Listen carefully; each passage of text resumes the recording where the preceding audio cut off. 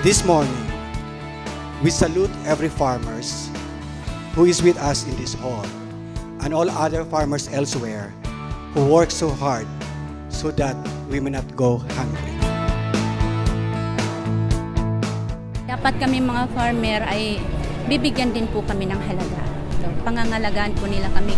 Kung, kung hindi po dahil sa amin, wala po tayo ngayon. Wala po kayong kakainin kung hindi po dahil sa mga farmer.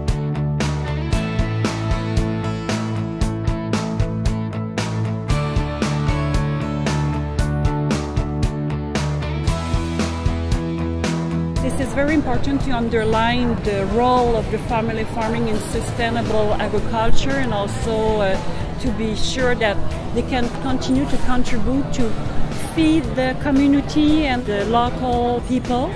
Isa itong pagdiriwang sa kontribusyon ng mga maliliit na magsasaka. Ito ay pagbibigay pugay sa uh, mga nasa bukid We can learn a lot from each other within the Philippines but also from uh, colleagues in other countries. Sa kauna-unahang pagkakataon, ni-recognize ng United Nations sa buong mundo kung ano kahalaga ang small farmers na nasa family farming system. As we all know, on 22nd November 2013, the United Nations General Assembly designated 2014 as the International Year of Family Farming to highlight the important contribution of family farmers in eradicating hunger and promoting sustainable development. Kung kinapang sa hirap yung mga kapatid ko, yung sasaka na yun. Hanggang sa awa naman ng Diyos nakatapos yung tatlo kong kapatid. Sa susunod na dalawang araw, kikilalanin natin ang ilang matatagumpay na pamilyang magsasaka. As we are about to close the International Year of Family Farming, Pakisama and AFA, the Philippine Farmers Forum, Asia Dra Phildra, AgriCord Philippine Synergy Group, ANGOC, the Department of Agriculture, the Department of Agrarian Reform, FAO, the International Fund for Agricultural Development, and the support of all those who are around here, convene the Knowledge and Learning Market and Policy Engagement to honor the small-scale women, men, and young farmers.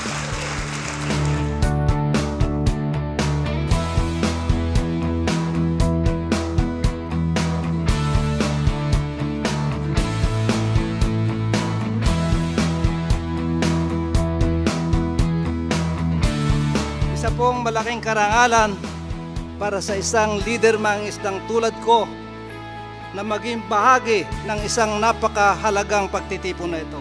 Family farmers need to be supported in order to increase productivity, market access, and income. Iugnay natin sila sa merkado o sa market ang ating family farmers na hindi sila naiisahan o palagi na lamang nadedihado sa alakaran. Sa ating pagpapakita ng pagkakaisa, sinasamahan tayo ng iba't ibang sektor, mga non-governmental organization, labor, urban poor, media, mga school. The Philippines through the Department of Agriculture is uh, really trying hard to give special trainings, to give financing support, and to give post-harvest uh, facilities to enhance the uh, livelihood of the small family farmers. Naniniwala po ako na sa pamamagitan ng ating pagsasama-sama ngayong araw na ito na ang kahirapang taglay ay mababago sa mga susunod na taon. This year, we are giving due recognition to these key players. Nagkaroon tayo ng pagdiriwang, pagbibigay ng parangal o pagkilala sa mga natatanging pamilyang Pilipino naging modelo natin.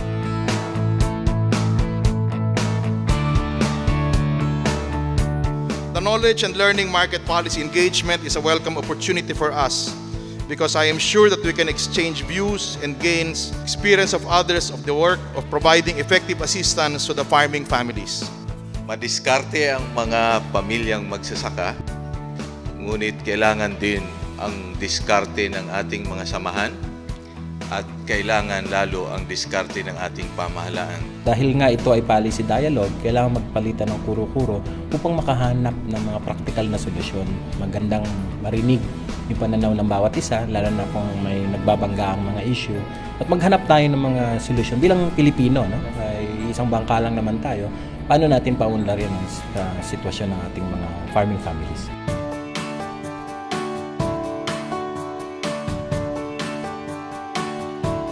Ang ating mga kwentong pamilya ay pinagsama-sama namin along five themes. At yung five themes natin yun, yung asset reform, economic development, yung agriculture governance, climate resiliency, at saka yung young farmers. Tumatanda na ang magsasaka. Yung salin lahi, medyo mahilig sa gadget, so hindi na magsasaka ito. Mawawala na yung magpapakain ng bayan pag uh, nawala yung pagsasaka. Pagkakaisa pa rin ang punto nito para magtagumpay talaga tayo. Yung dalawang oras naming discussion ay pwedeng masynthesize sa tatlo. Madiskarteng pamilyang magsasaka, madiskarteng samahan, at madiskarteng pamahalaan. Lahat ng mga nagsucceed na farmer ay nagsimula sila na meron silang vision. Kailangan gamitin itong farming para magpa uh, aral ng aming mga anak, ma-improve ang aming pamumuhay. Mahalaga na na medyo kailangan pakinggan ang ating mga mag-uuma, mga magsasaka, no? at uh, maging angkop yung mga serbisyo. 91 years old na po siya, pero hanggang ngayon buhay pa dahil talagang organic po ang kinakain niya. Doon po nalaman ng mga participants ang kahalagahan ng organic tapos yung pagiging mahal ng chemical fertilizer. May implement po sana sa lahat yung pagtatanim ng organic sa lahat ng munisipyo. Huwag nating itanim sa isip ng ating mga anak na ang pagsasaka ay punishment o para sa mga di nag-aaral. Sasabihin pa sa mga bata, kung hindi ka mag-aaral, magbukid ka na lang. Iniisip na pahirap lang ang pagsasaka kaya naghahanap ng ibang kurso. And one of the challenge ng grupo pong ito is to enact a Magna Carta of Young Farmers para po mapangalagaan yung mga karapatan ng mga kabataang magsasaka.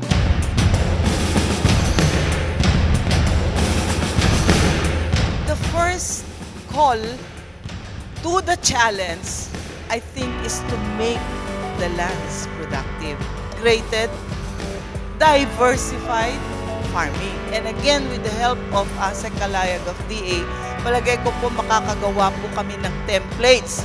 Templates kung paan tayo kikita ng isang milyon sa isang hektarya. Bilang pagkilala din sa tagumpay ninyo, naglalaman po kalit ang mga lupain na ipamigay ng pamahalaan sa inyo. Ito po inyong napagyaman. Tunay naman po kami namamangha sa galing at tagumpay na uh, sinalaysay ang bawat isa sa inyo. Sa buong taon ng 2014, matagumpay nating naipahayag sa buong mundo ang malaking papel na ginagampanan ng family farming. Kaya napakahalaga na lalo pa nating patibayin ang ating pagkakaisa at mananatili sa ating agricultural agenda hanggang magbigyan ng karampatang solusyon.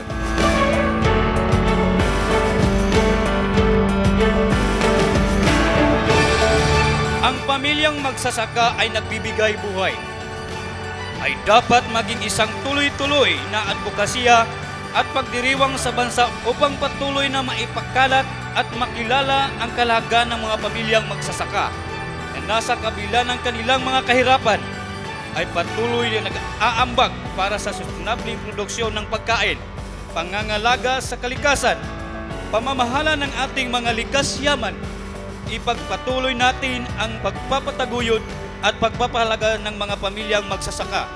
Kasama na ang mga kababaihan at mga kabataang magsasaka. Malugod po naming tinatanggap ang inyo pong deklarasyon ngayong hapon na siya rin po magiging uh, basihan namin ng aming patuloy na pag-uugnay at patuloy na pakikipag-ugnay sa inyo at ang aming patuloy na pagsasagawa ng mga rekomendasyon na naririto at nakapaloob po dito sa inyong deklarasyon. They are the unsung hero of our family. Pamilyang magsasaka ay nagbibigay buhay. Filipino farmers are world class. Family farming is part of the solution to hunger, not part of the problem. I would like to thank you from the bottom of my heart uh, for uh, being uh, one of the most active participants in transforming the lives and the livelihood of the Filipino farming communities. Thank you so much. God bless. Mabuhay po kayo. Ipagmalaki ang pagsasaka kasi tayo ang nagpapakain sa buong mundo. Oh, madiskarte ang pamilyang magsasaka Magpunla, magbantay at anihin ang bunga Na nagbibigay sigla sa mga minamahal Alamin at pagyamanin ang likas na paraan